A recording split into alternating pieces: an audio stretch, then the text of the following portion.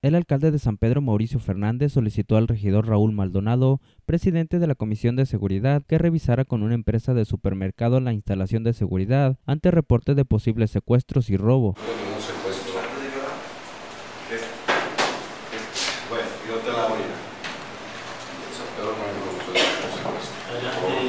Porque yo, yo tengo entendido que eso sucedió del otro lado de Monterrey, que fue casi en el Oxxo que está en Miravalle, este está en otro lado.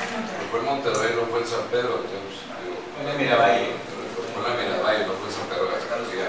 Te lo puntualizo, ¿no? Te comparezco con mucho gusto, pero no pido compadre, que comparezca por un asunto que no pasó en San Pedro.